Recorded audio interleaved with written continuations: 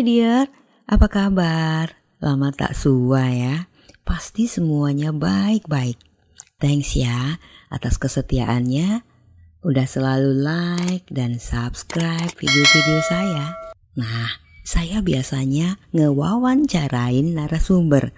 Tapi kali ini saya diwawancarai oleh Karumkit Angkatan Udara Yogyakarta. Seorang dokter yang super duper keren. Thank you, Dokter Berlian. Yuk, ikuti perbincangannya. Salam sehat uh, di podcast Dokter Berlian. Kali ini saya akan mendatangkan seorang ibu rumah tangga yang berjuang untuk seorang anaknya semata wayang dalam uh, diagnosa uh, meningitis. Beliau Ibu Ikna dari Semarang yang uh, 10 tahun lebih nah ya 10 tahun lebih berjuang untuk seorang anaknya laki-laki sehingga bisa survive. Nah ini perlu kita contoh dalam artian bagaimana uh, Ibu Ikna ini bisa bertahan bisa uh, apa namanya sampai saat ini bisa survive dan anda anandanya juga demikian bisa berkomunikasi dengan baik nah, untuk itu kita akan uh, langsung saja ke Ibu Etna uh, Bu Etna salam sehat Salam sehat. nah, ini Iya, terima kasih Dokter Berlian. Saya bingung nih manggilnya. Saya harus manggil Dokter Berlin atau Dokter Berlian Ya. atau Dokter Bukti. ya, memang banyak untuk uh, anonimnya samarannya tergantung jamnya oh ya jamnya jamnya jam segini ya dokter Berlian Oh, gitu. besok lagi dokter Berlin gitu ya. Kalau kalau kayaknya kalau pagi hari itu pakai dokter apa? Dokter yang lainnya gitu. Iya lainnya. ya, ini sekedar uh, pemirsa sahabat podcast untuk kalian. Eh, kita ber, beranjak langsung bertanya kepada eh, Ibu Ekna yang Ekna sekarang aktivitasnya apa ini? Kalau Iya. sekarang? Iya, kebetulan saya jelas sebagai seorang ibu rumah tangga. Saya memiliki seorang anak, one and only, dan saya juga memiliki seorang suami juga satu, jadi sama lah, seperti itu. Aktivitas saya eh, kebetulan Tuhan mengaruniai saya untuk menjadi seorang station manager di sebuah radio Hmm. dan saya sendiri masih sebagai dosen praktisi public speaking. Jadi enak sekali dalam kondisi kemarin daring, jadi saya jadi kayak terkenal ke mana-mana, diundang ke sana sini gitu kan ya. Dengan daring Nah, itu ya? Karena daring itu, daring itu bagi saya yaitu berkat yang tak terduga lah. Itu kesibukan saya selama ini. Oke. Terus eh, kesibukan yang yang sekarang ini Mhm. itu juga kesibukan yang dulu. Maksudnya kalau dulu eh, semasa Ananda Reva sakit itu belum mencapai level manager atau Ya, jadi eh, saya merasa begini, kalau kehidupan ini kadang Tuhan izinkan ya, ada masalah terjadi. Ternyata kalau kita menikmati masalah itu dan kita setia pada proses itu, ternyata kita akan dibawa naik ke level lebih tinggi kalau menurut saya. Oke. Saya nggak pernah bermimpi jadi seorang dosen praktisi public speaking. Oke. Karena saya tidak pernah kuliah, tetapi saya ngajar anak kuliahan. Itu kan berarti anugerah dari Tuhan. Oke. Kalau saya jadi station manager, ya itu dari eh, awal prosesnya. Dari awal proses saya memang orang suka radio. Yo. Saya suka radio dan saya memang terlibat menjadi seorang announcer, seorang penyiar. Saya suka sekali. Nah, itulah yang membuat saya jadi eh, station Oke. manager di sebuah radio. Mantap. Jadi memang eh, bidangnya dan itu profesi itu kalau sudah bidangnya memang lebih nyaman ya. Betul. Padahal kalau dipikir eh, sekolah saya nggak ada bidangnya sama sekali Oh dong. iya, ya saya tahu dengan latar belakang pendidikan Ibu Itna ini bukan seorang yang mendalam broadcast atau Iya, betul. atau fakultas yang khusus untuk Iya. itu ya. Ini Iya, ini benar. ini memang memang apa talenta sih kalau itu ya kita bicara ya. Anugerah ya Anugerah ya. anugerah dari Tuhan padahal kebetulan saya dulu sekolah di sekolah menengah farmasi Ya. saya sekolahnya di Surabaya bersebelahan sama dokter Berdian yang tinggalnya tinggalnya Iya, dok iya, ya. iya, iya. Nah seperti itu. Tapi ternyata kalau seperti ini ilmunya juga kepake sih dok sampai hari ini Iya ya. Hmm. Paling tidak nama obat tuh masih ingat. masih ingat nama obat masih ingat. Nggak ada nggak ada ruginya kok. Kita sekolah apa pun nggak ada ruginya.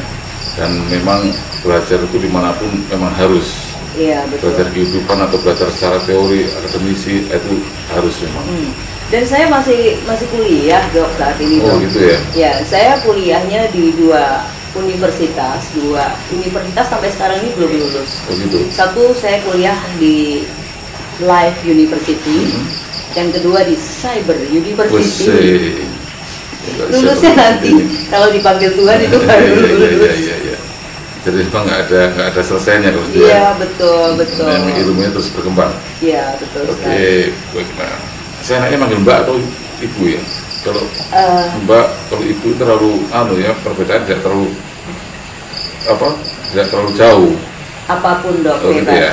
Saya dipanggil Oma juga boleh. Jangan Mbak. Nah, eh, sekarang kita beranjak bertanya ke Mbak Ikna, Mbak Ikna aja ya. Hmm. Mbak eh, Reva dulu terdiagnosa meningitis itu pada usia berapa? Sekarang usianya 22 tahun. Iya, anak Bagus saya, ya? iya, Nah. sekarang usia 22 tahun. Dulu terdiagnosa kena meningitis di tahun 2009. Jadi usia 9 dia kelas 3 SD mau naik ke kelas 4 SD. 3 SD awalnya gimana Mbak? Awalnya sebenarnya hanya mau operasi amandel sih, hanya Hmm. mau operasi amandel. Nah, sebelumnya dia tidak ada, jadi nggak pernah uh, Reva Kerjang itu nggak pernah. Dan kayaknya kalau saya ini terkenal dengan sebutan orang yang uh, peduli dengan kesehatan, yang sangat uh, strength, pokoknya beda lah sama yang orang lain-lain lah suka karena memang ada background seperti itu ya. Uh, tetapi saat itu dia mau operasi amandel. Tiba-tiba amandelnya kok agak bengkak gitu. Terus dokter bilang dioperasi aja. Hmm. dioperasi masuklah ke rumah sakit. Masuk ke rumah sakit itu tiba-tiba dia kena panas. Tapi nggak langsung sih ya. Jadi waktu mau dioperasi amandel nunggu dua hari tiga hari justru jadi panas. Justru jadi panas sampai dia hari ke 10 Jadi nggak jadi operasi tuh?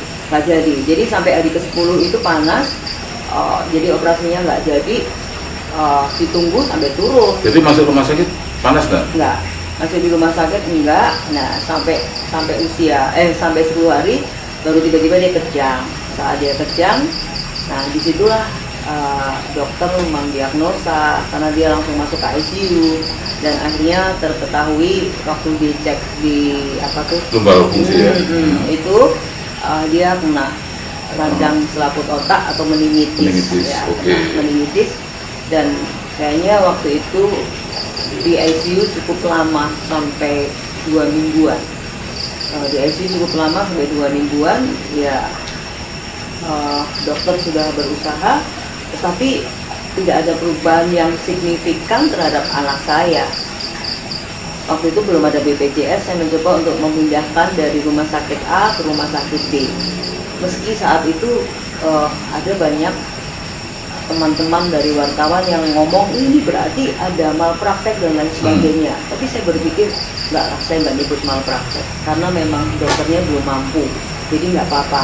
Dan saya serahkan semua sama Tuhan dan akhirnya Oke, saya beralih ke rumah sakit berikutnya. Oke. ke rumah sakit berikutnya. Ini dari ICU, rumah sakit yang pertama ke di rumah ICU. dulu, Nah, setelah terus ICU masuklah ke, Ke ruangan biasa. Ruang biasa. Udah udah nggak ada kritisnya. Nggak ada. Nah, dari kritisnya itu eh, dari ke ruang biasa itu nggak kritis, udah udah biasa, udah biasa. Tetapi di situ dokter mengatakan sama saya gini, ibu kenapa ragu ya? Ini anak ibu tuh cuma butuh seorang psikolog. Itu ada seorang dokter yang mengatakan seperti itu. Tapi saya sekarang sama dokter itu baik sih, jadi berteman baik. Butuh seorang psikolog gitu aja. Butuh seorang psikolog. Anak saya kenapa butuh orang seorang psikolog? Gitu. Hmm. Nah, kayaknya kok ini panas, kok dia bilang sakit-sakit gitu. Hmm. Terus akhirnya, ah, akhirnya saya menunggu direkturnya rumah sakit itu datang. Ya, tetap sebagai seorang ibu pasti saya mencari terus Nah, apa iya, iya, masalahnya. Terus saya minta dipindah secara paksa untuk saya pindahkan Ke rumah sakit di B. rumah sakit B. Padahal dok kalau mau tahu, saya memindahkan anak saya itu saya harus punya uang. Karena ke rumah sakit B itu kalau nggak ada uang juga nggak bisa. Itu satu level, rumah sakit itu satu level. Nggak levelnya beda dan bawah. lebih bagus. Lebih bagus. Lebih bagus. Lebih lebih eh, dari tipe rumah sakitnya lebih lebih baik ya, gitu ya. lebih Jadi istilahnya kalau Tipe- sekarang pakai BPJS rumah sakit yang saya masukin itu Ya. berarti tipe A, C, B. C. C. Terus saya beralih ke tipe, Tipe B. B, oke. Ya, saya ke tipe B sedikit ya lebih tertangani dengan baik, tetapi mungkin belum begitu tuntas, Ya. tapi sudah cukup baik, sudah cukup baik.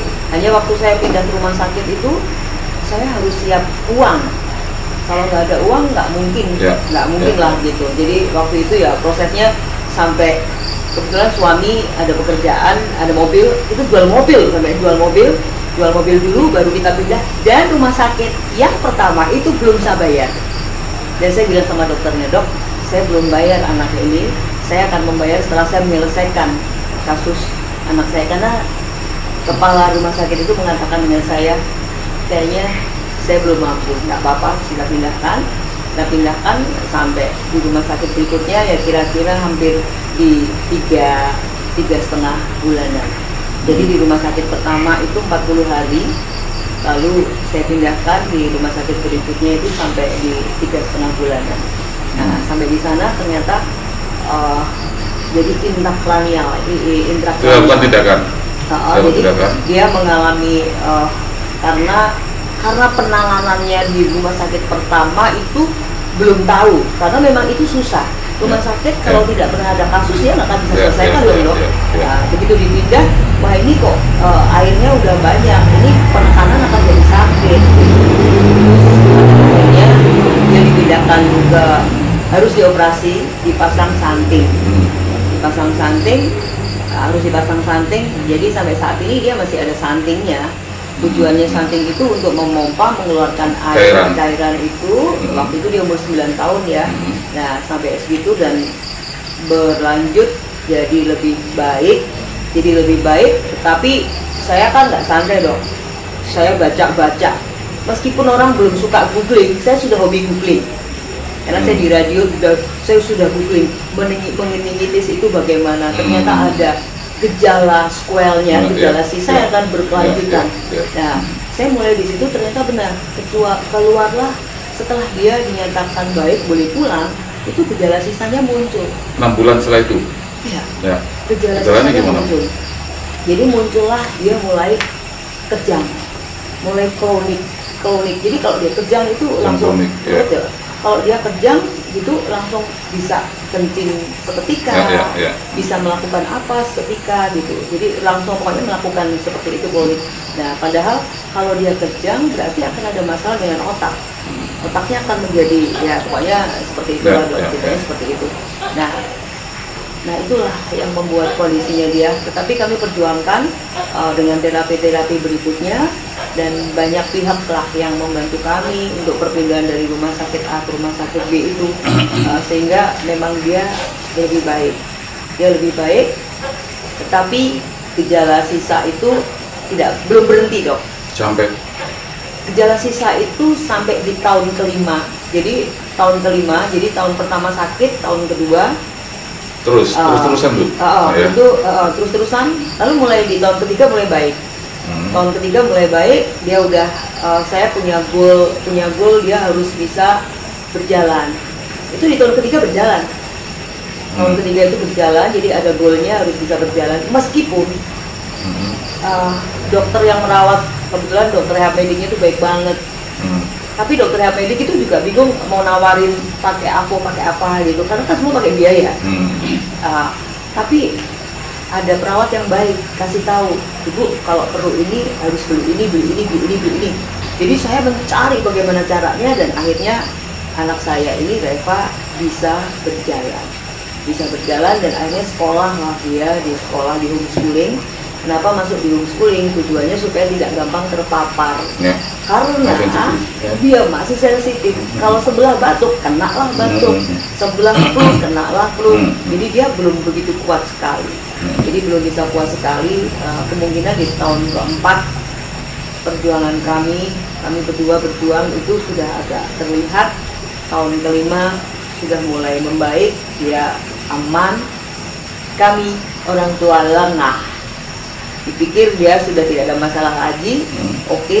Tetapi uh, untuk kejang itu masih. Itu masih. Kejangnya belum berhenti. Karena kejang itu obatnya kan harus dua tahun tanpa berhenti. Nah untuk kejang ini kayaknya belum ada dokter yang bisa mengobatin untuk memperhentikan kejangnya jadi saya kayak shopping shopping dokter. Tetapi dari dokter A saya nggak pernah menceritakan juga bagaimana nggak. Saya belajar dokter A ini belum berhasil dia masih kejang hmm. terus nanti kalau dia sakit ini obatnya didobel lagi. Aduh saya mikir obatnya didobel lagi lebih banyak lagi dok. Hmm. tapi sama aja dia masih kejang padahal kalau kejang itu akan ada masalah. Gitu uh, terus di tahun ke enamnya dia kena virus. Virusnya namanya sitomegalovirus oh. saya nggak ngerti kalau kena hmm. sitomegalovirus hmm. Jadi waktu di tahun ke-6 dia sudah mulai matanya agak mengecil satu matanya mengecil satu oh, matanya menutup satu. Menutup satu ada orang yang ngasih obat dengan kami dan obatnya itu uh, bisa dipakai bagus. Dia bisa melek. Setelah hmm. matanya yang satu melek yang satu tuh nutup ganti. Terus saya nggak ngerti obatnya harga berapa. Terus kami mencoba untuk membeli obat itu. Hmm. Kami nggak mampu dok. Karena obatnya mahal sekali. Obat itu baru tak beli satu untuk minum minum banyak itu nggak mampu. Obatnya ya waktu itu obat itu uh, dia harus minum satu botol itu satu juta lima ratus. Tapi kan obatnya diminum terus. Hmm. ternyata harus diminum terus. Saat waktu dia minum berapa? Satu minggu kami berdua udah nggak ada duit lagi untuk beli berikutnya. Akhirnya obat yang kedua kita kasih minumnya itu agak agak ini dicarain di, oh, di... dicarain karena kita mau hemat kita hmm. mau hemat ternyata nggak membuahkan hasil akhirnya matanya lu itu, itu produk-produk uh, obat-obat kimia atau obat-obat alternatif? Obat kimia. Obat dokter ya, ya maksudnya? Ya. Oke. Okay. Obat kimia. Tapi memang bagus ya, nah, kandungannya bagus. Dan akhirnya matanya satu nutup bener, sekolahnya berhenti karena kan dia nggak bisa dia. Dia nutup matanya nutup banget. Saya masih ingat uh, waktu itu nutup satu itu dia nulis uh, hari uh, I love you ma gitu. Dia kasih ini tapi ada fotonya matanya nutup satu. Tapi itu sudah buka yang satu nutup lagi nutup satu. Itu kami nggak bisa berbuat apa-apa tapi ya di situlah uh, Tuhan itu baik.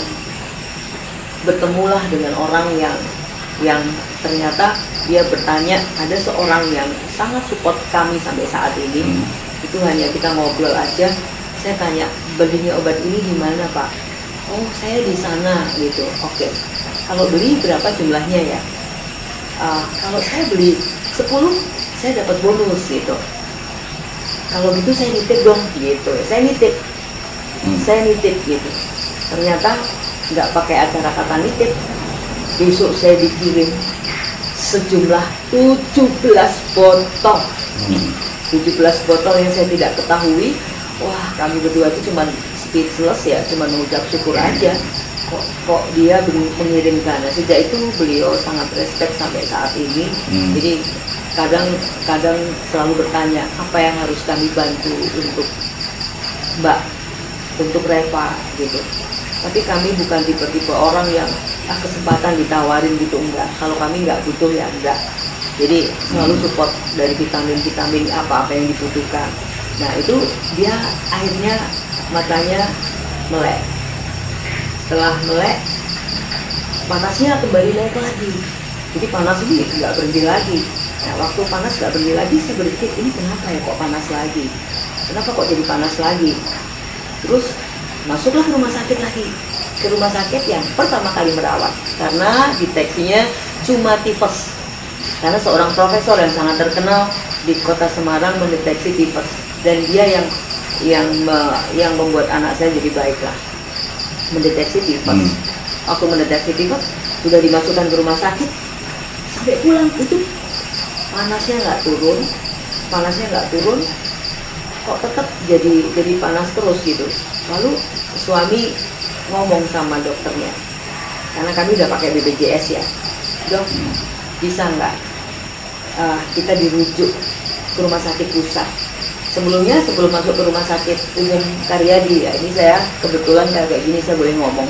Dulu kami berpikir rumah sakit Karyadi itu error horor Hmm. jadi kami nggak ada sama sekali berpikir Hmm. untuk ke rumah sakit Karyadi gitu jadi Hmm. kami nggak pernah berpikir Hmm. karena mikirnya error dan horor Hmm. tapi suami saya itu selalu dia yang mencari dulu Hmm. sama kasusnya waktu anak saya harus uh, pakai APO pakai APO kaki kita dikasih tahu harus ke Solo Hmm. Ya, dia jalan dulu naik angkot eh naik bis ke Solo untuk survei di mana tempat kaki-kaki uh, untuk jadi bagus nah sampai di Solo ternyata kita udah kasih tahu terus kita ke Solo. Waktu ke Solo itu setiap satu bulan eh, seminggu itu kakinya harus digip karena kakinya kan lumper-lumper Hmm. tuh. Harus digip satu kali kegip itu saya harus keluar satu juta. Jadi dibongkar dipasang dibongkarnya Hmm. bayar Hmm. dipasangnya bayar padahal dibongkar dibuang. Tapi gipnya harus yang bagus. Hmm. nah setelah itu nanti kalau sudah bagus selama satu bulan uh, harus beli kakinya waktu kita di parkiran di rumah sakit Solo Hmm. itu waktu di parkiran kami itu agak tenger-tenger sendiri Hmm.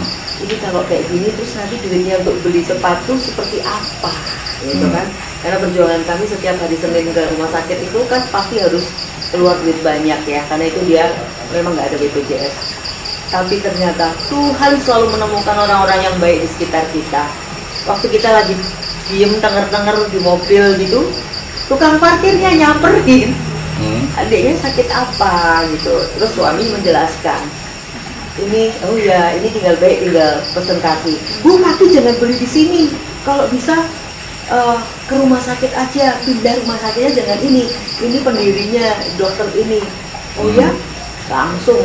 Oh gitu ya langsung saya pindahkan untuk yang keempat dia harus buka kaki. Nah waktu hari empat eh, sebulan harus buka kaki saya ke dokter eh, ke dokter sarafnya sebelumnya. Dokter saraf sudah kasih aba-aba. Lebih baik amandelnya dibersihkan daripada nanti ada masalah. Padahal kakinya masih pakai jam nih dok. Akhirnya saya bawa. Jadi dok saya tidak lanjut karena dia mau operasi dulu. Saya bilang sama dokter karena itu lagian saya sudah dikasih aba-aba untuk operasi menyamakan ini kaki ini sekitar 40 jutaan. Duit dari mana dok 40 jutaan. Saya pulang dulu. Oke deh. Saya pulang dulu terus dia operasi dulu. Operasi amandel dulu. Nah waktu operasi amandel waktu operasi ma- eh, waktu dia operasi amandel saya mencoba untuk ajak dia. Eh, jadi kami berdua ditanya sama dokternya. Dokter itu baik banget. Saya ketemu dengan dokter dokter saraf sekarang sudah meninggal beliau. Dokter eh, aduh saya lupa namanya dokternya baik suami istri eh, dok suaminya dokter Han, dokter Handoyo. Dokter Handoyo yang kasih tahu jangan sekali-sekali belikan sepatu anakmu sepatu yang murah. Karena anakmu mau latihan jalan sepatunya harus ngunci. Di situ Hmm. saya sadar saya belikan sepatu yang nggak murah karena supaya ngunci. Hmm. nah ah, lalu dokter dokter dokter itu dokter saraf tapi tiba-tiba kok dia buka mulutnya. Harus dioperasi amandel dokternya tanya kira-kira Edna butuh rumah sakit mana yang kenal? Karena saya kenal dengan banyak rumah sakit. Hmm. yang murah tapi dokter ini ada Ya. oke. Saya dipilihkan rumah sakit. Oke saya pilih rumah sakit B ini. Karena ini murah. Ah, saya kenal sama dokternya. Saya telepon sama dokternya. Dok saya bisa dibantu. Oke nggak apa-apa. Ternyata saya masuk ke rumah sakit yang karena direkturnya saya kenal. Sampai di situ dokter saraf ya bukan beliau. Waktu anak saya mau operasi sudah siap-siap. Hmm. dokternya yang tadi saya hubungi bilang apa? Saya minta dikonsul sama dokter Betul. saraf. Dokter sarafnya beda. Apa kata dokter sarafnya? Saya nggak berani untuk ambil, anaknya nggak ada masalah apa-apa, kok nggak berani untuk ambil. Padahal anak saya sudah lengkap. Nah, kalau nggak sanggup, kenapa mesti tadi anak saya sudah masuk dengan siap-siap begini? Nah, itu itu kami juga melakukan sebuah ya kayak kayak tragedi lah Protes. drama ya Hmm. kayak drama tapi saya udah nggak berani drama dok. Saya udah nggak berani protes. Yang protes suami. Suami waktu mau bayar protes. Kalau nggak jadi kenapa? Saya harus keluar biaya lagi. Hmm. tapi akhirnya kami dibebaskan. Hmm. karena kami kenal sama direkturnya dibebaskan keluar. Kami ter, termenung apa yang harus kami lakukan. Karena sebelum kami ngobrol bahwa dokter rumah sakit yang murah ini ada seorang dokter yang saya kenal dulu dan dia sudah bisa menebak dan akhirnya saya masukkan ke rumah sakit rumah sakit berikutnya yang tipenya lebih baik lagi. Uh, terus dokternya mengatakan udah nggak apa-apa dioperasi aja. Dan kemarin sudah saya konsul ke sana. Waktu itu dok dikasih aba-aba malam-malam itu biaya operasinya saya boleh sebutin ya. Hmm. biaya operasinya 3 juta. Biaya untuk dia uh, total Anestesi. total anestesi 1,5 karena harus ini dan lain-lainnya biaya dokternya biaya ini bla bla bla lah kira-kira sekitar 5 jutaan lebih lah.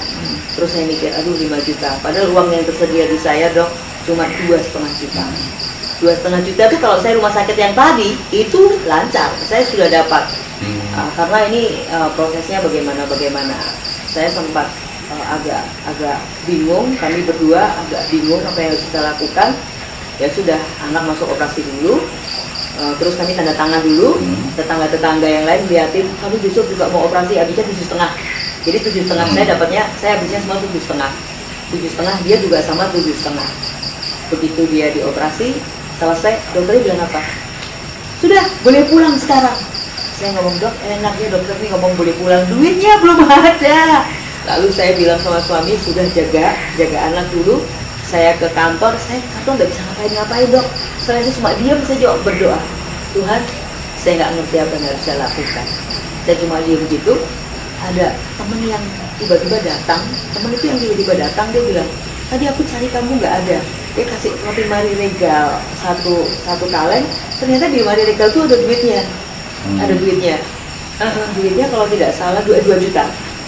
Dua juta ah lumayan. Sudah cukup terus saya mikir gini wah saya harus ngebon ini sama bos saya minta ditransferin dulu supaya uangnya masuk saya langsung bisa bayar dulu. Saya nunggu nginep satu hari dulu. Pagi-pagi saya datang ke adminnya tujuan saya untuk cek supaya saya menyiapkan duit kekurangannya Hmm. ternyata apa yang dibilang sama adminnya? Ibu kok sudah pagi-pagi? Iya saya soalnya mau buru-buru. Ternyata apa dok? Waktu di sana diperiksa uh, berapa biaya yang dikeluarkan? Hmm. Saya bawa duit 2 juta. 2 juta itu sisa. Jadi di sana ditulis ini habisnya cuman saya pokoknya nggak sampai di 2 juta.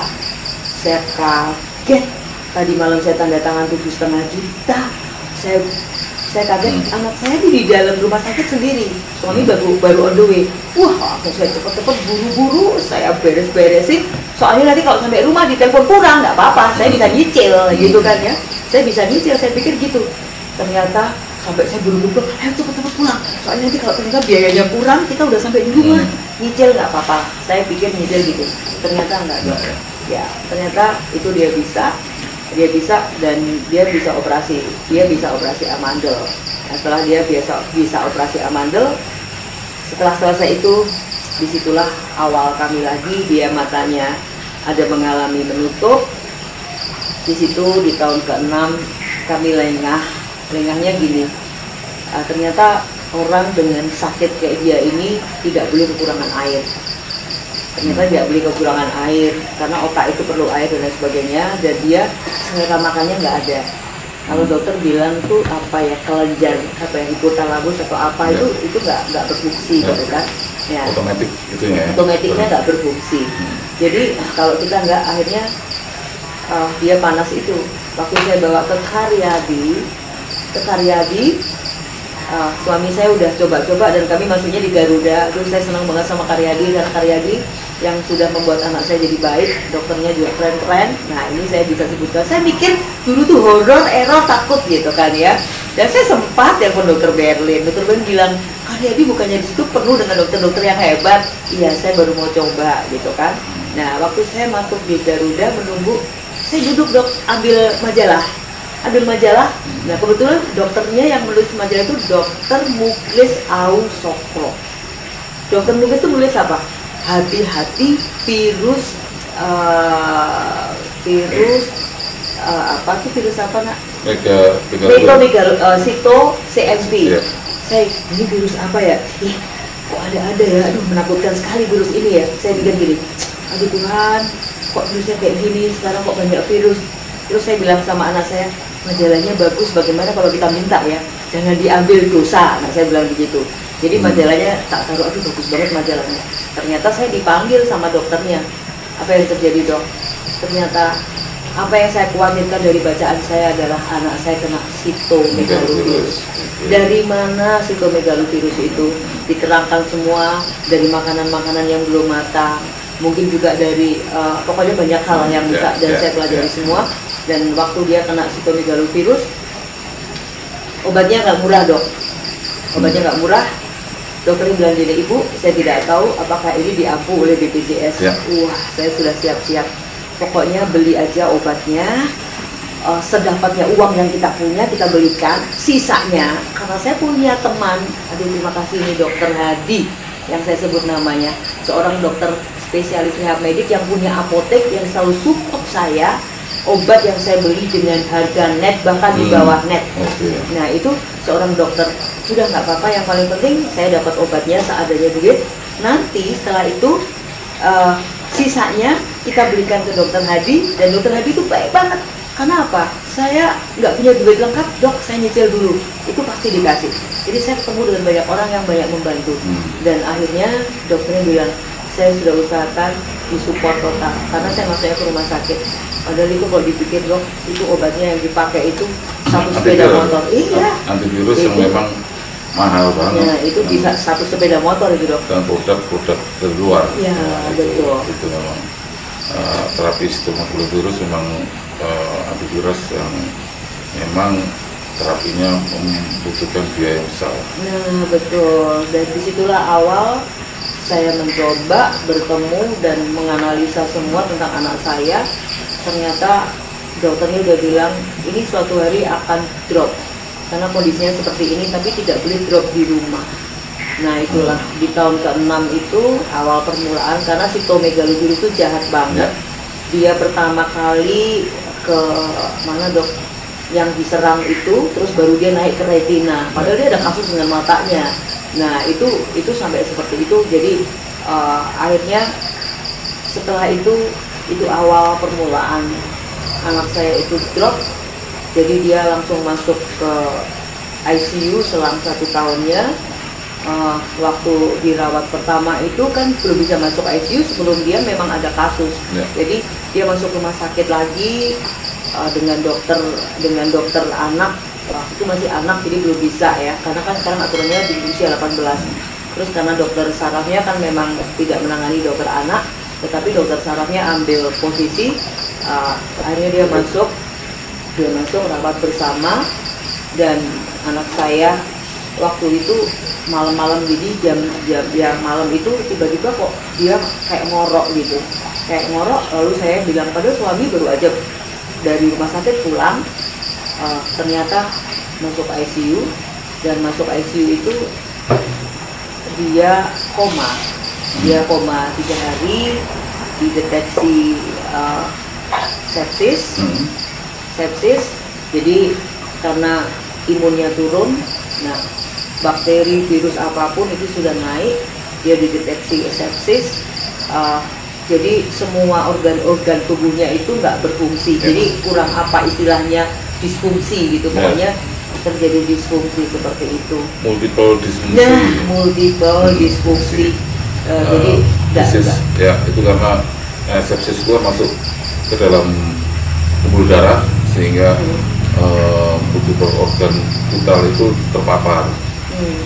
Emang kalau sudah masa itu itu sangat susah untuk terapinya. ya betul dok ya itulah Eh, saya justru menarik ini, eh, baik mas. Eh, orang tua di sini peran sangat besar antara suami istri, Hmm. ya. Bagaimana eh, dengan kondisi pada saat itu, eh, Mas sama Mbak ini Hmm. bisa survive dalam artian kan nggak pendek waktunya iya 6 tahun, 7 tahun, 8 tahun itu bisa pastilah ada masalah-masalah yang yang clash yang jenuh terus eh, apa terus pasti ada rasa "Aduh, kapan nih selesainya ya. Terus bagaimana untuk menumbuhkan semangat ini supaya eh, teman-teman yang lain bisa tahu bagaimana mengendalikan ini? Karena saya tahu bahwa ya mesti, uh, mesti, mesti manusia itu kan ada titik lemahnya. Yang di mana ada masa jenuh, ada masa putus asa. Bagaimana bisa saling menguatkan ini? Ya, ini menarik sekali karena semua orang kalau punya masalah biasanya begitu ya, dok. Hmm. Pasti dia akan mencari uh, akan ada hal yang kayaknya ya bagaimana mengapa bisa terjadi. Masalah pertama kali terjadi waktu itu kejang pertama kali anak saya yang saya lakukan. Kebetulan suami saya ini uh, kebetulan kami berdua ini orang yang suka menyembah Tuhan. Hmm. Jadi kami kebetulan orang Kristen, kami suka menyembah Tuhan lah. Paling tidak saya menyembah uh, jadi agama apa pun tuh pasti kan akan ada menyembah Tuhan gitu. Waktu pertama kali anak saya tiba-tiba bilang oh saya saya kok kedinginan kedinginan kedinginan kedinginan. Itu katanya suami saya di sebelah anak saya tuh sudah ada malaikat dua. Jadi seperti kayak malaikat kayak pencabut nyawa gitu kan waktu itu itu masuk masuk uh, ICU pertama kali. Nah waktu masuk ICU pertama kali itu semua sibuk melakukan. Pokoknya uh, silahkan dokter melakukan. Yang kami lakukan berdua tidak lain. Kami langsung ngomong-ngomong berdua. Kita berdoa dulu. Berdoa dulu. Kami berdoa cuma berdoa saja. Itu langkah yang kami lakukan adalah berdoa dulu. Berdoa pokoknya berdoa. Lalu berikutnya kami tidak saling menyalahkan ini sumbernya dari mana dari mana. Karena perjalanan kami itu dari tahun 2009 sampai saat ini 2022 kami masih berjuang karena kondisinya kan masih up and down. Ya. Itu setelah kami berdua cuma melakukannya ya introspeksi tetapi nggak saling menyalahkan. Lalu kami cuma menyembah berdoa yang kami lakukan gitu tapi juga cari tahu. Kami berserah. Tapi berserah kami bukan berserah terus kepleh-kepleh ya, aduh ya. terserah Tuhan. Berserah tapi saya aktif melakukan bagian saya. Termasuk saya kenal sama siapa saya mencoba untuk bertanya uh, saya bertanya saya cari-cari segala sesuatu. Dan satu lagi dok yang tak terlupakan kami berdua mencoba saling memaafkan. Saling memaafkan lalu saya mengingat mungkin saya punya banyak kesalahan dengan orang-orang. Saya ingat satu persatu. Saya ingat satu persatu kalau yang jauh saya minta ampun. Tuhan ampuni saya. Kalau saya ini orang yang banyak dosa banyak ini. Jadi kalau uh, anak saya seperti ini itu ini bukan hukuman bukan apa tetapi saya uh, maksudnya ini bukan kutukan. Saya merasa begitu bahwa anak saya terjadi seperti ini Tuhan izinkan agar saya kedua orang tua ini jadi lebih baik ya. lebih lebih baik.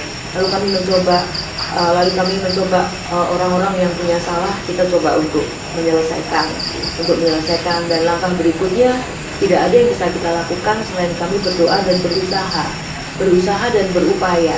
Nah yang paling menyenangkan karena saya seorang penyiar nih dok ya, ya.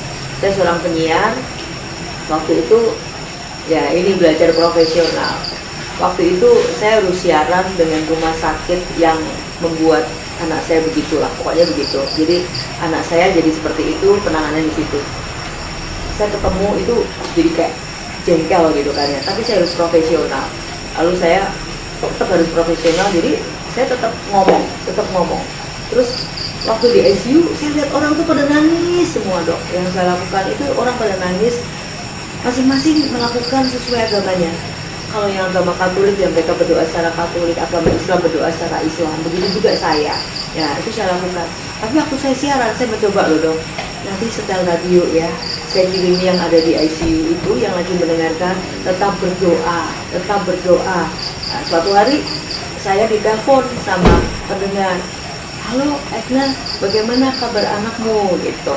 Saya jamnya apa? Oh so far so good. Padahal dok anak saya masih koma oh so far so good. Tahu nggak saya siaran nih ada matanya mengalir gitu. Oh so far so good. Itu pada oh gitu ya? Oh berarti udah keluar.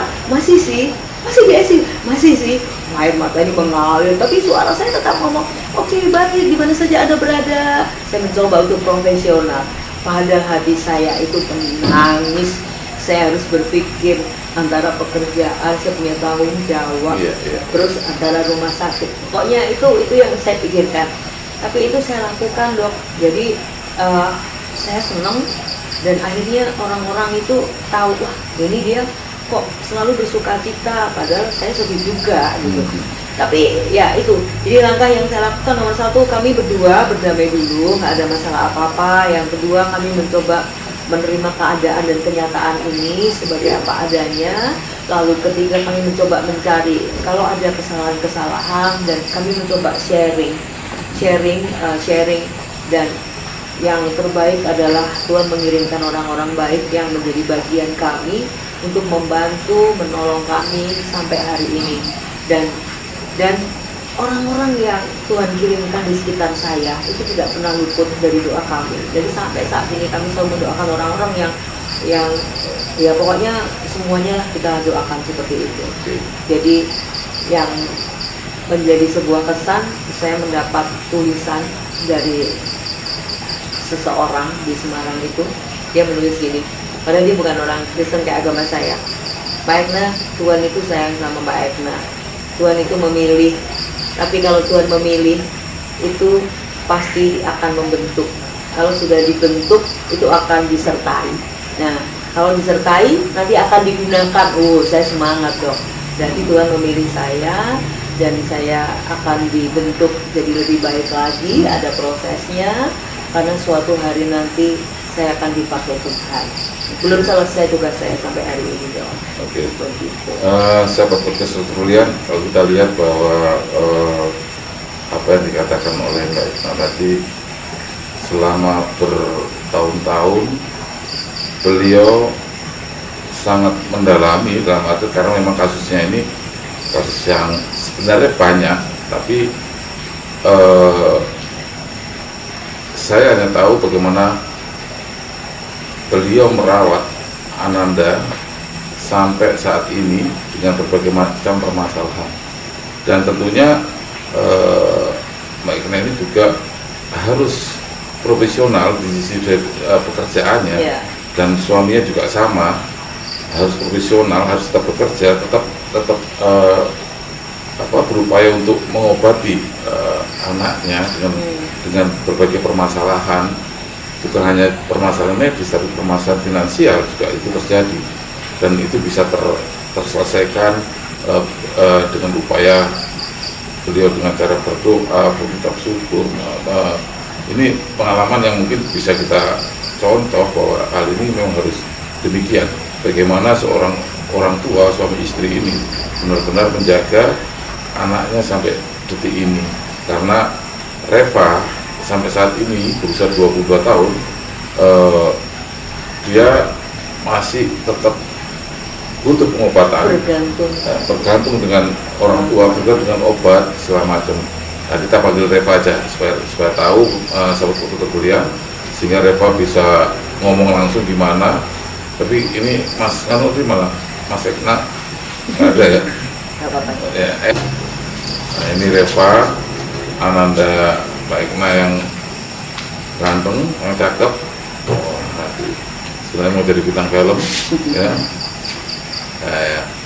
Pak, uh, kamu sekarang siapa Pak? 22. 22, wah 22. Terus aktivitasmu setiap hari apa? Di rumah kamu nulis, gambar atau apa aja kegiatan di rumah?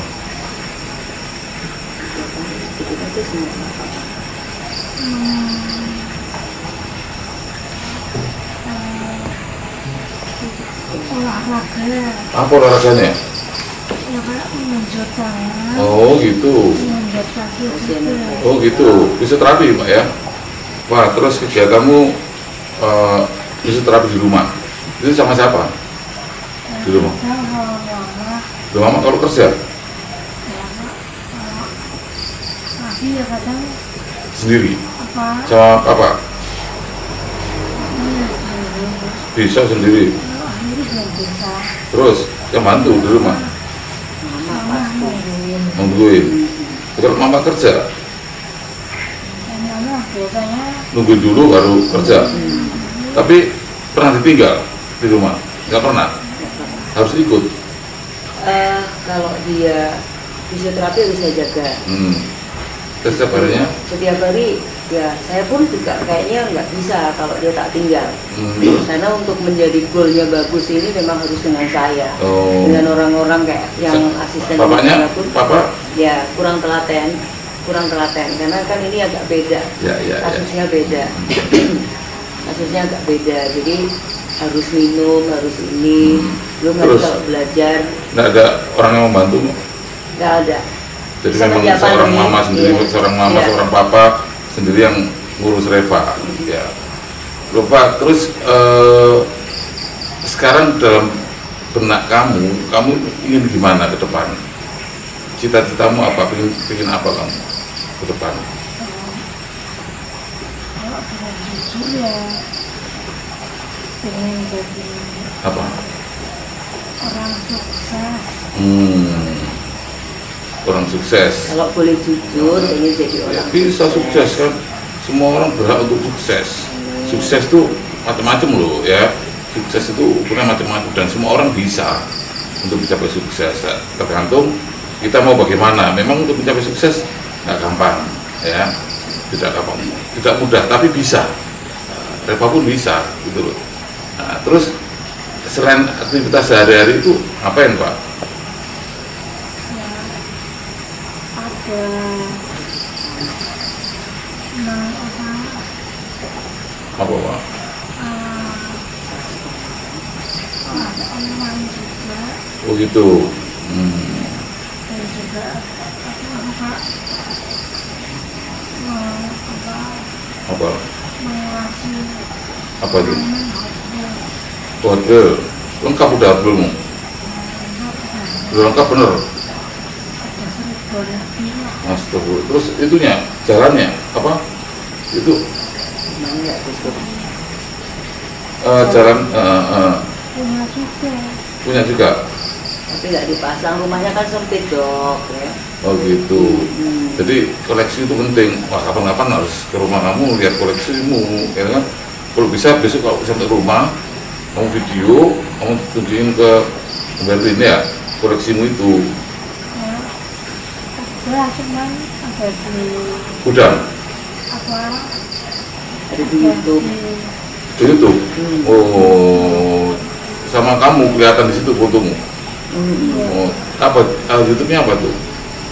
yang lama Raja Mama, bukan YouTube kamu. Oh, Tapi idenya banyak dia keluarkan ide-ide sedikit, Hmm. nah, sedikit ide cerita-cerita lucunya. oh gitu. Eh, terus keinginanmu selain, selain, sukses apa lagi Pak? Ingin apa? Kalau berdoa Tuhan ingin apa? bisa berjalan Hmm, dan jadi apa?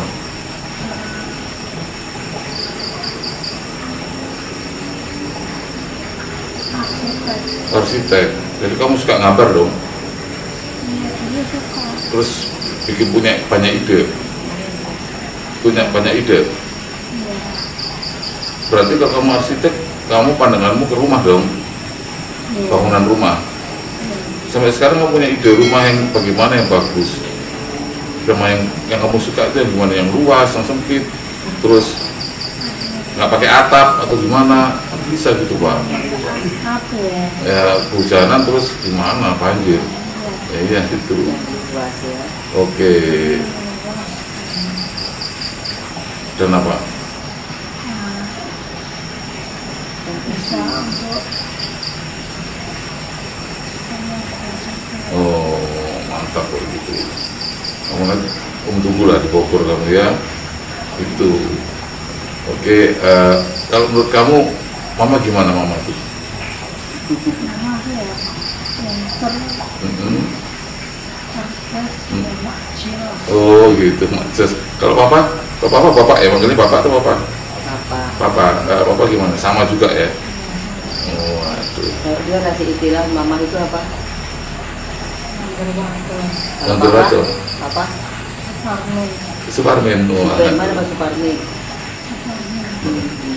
Ya ini eh, seorang anak yang memang eh, Reva bisa mengerti apa yang yang dia lakukan dan bisa menilai seorang mama papanya. Dan ini suatu hal yang luar biasa. Ya Pak ya? Luar biasa.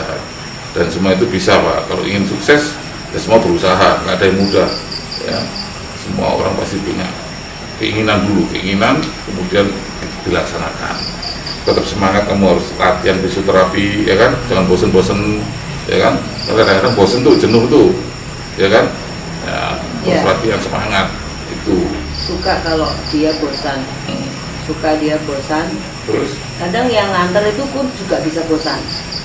Tapi saya bersyukur. Jadi saya punya sebuah kesadaran tidak boleh ada kata bosan. Hmm. pokoknya kalau Reva kena marah mamah itu biasanya satu tidak mau fisioterapi.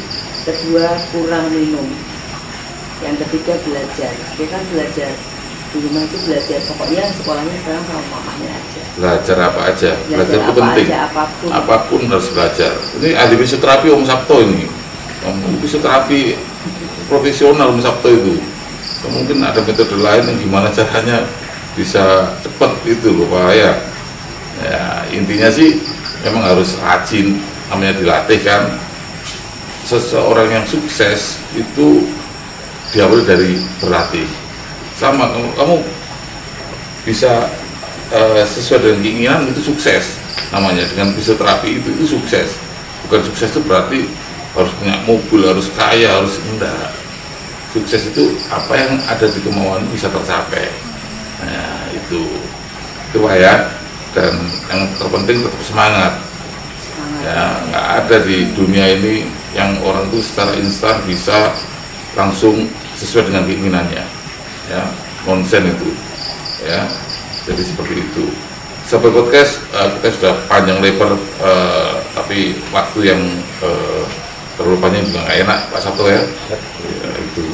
Jadi eh, kita bisa lihat bagaimana peran seorang orang tua eh, dalam mendidik atau eh, berupaya eh, dalam mengobati eh, Ananda semata wayangnya yang bisa sampai saat ini Ananda Reva eh, bisa survive. Ini satu suatu mujizat dan suatu eh, ke apa namanya semangat orang tuanya seorang ayah dan seorang ibu yang yang akhirnya membuahkan hasil meskipun sampai saat tetap harus eh, dilakukan eh, perawatan dan segala macamnya. Sobat podcast itu dulu yang bisa saya sampaikan. Mungkin ada pertanyaan, mungkin ada segala sesuatu, Anda bisa langsung eh, ke podcast Dokter Kuliah. Anda tanyakan di situ dan nanti akan terjawab, dijawab dan bisa komunikasi lewat media tersebut. Sekian, terima kasih Maikna, terima kasih Reva. Ini tadi. Papa cari nggak ada baru datang ini ya Papa ya. Nah, itu saja. Terima kasih. Salam sehat.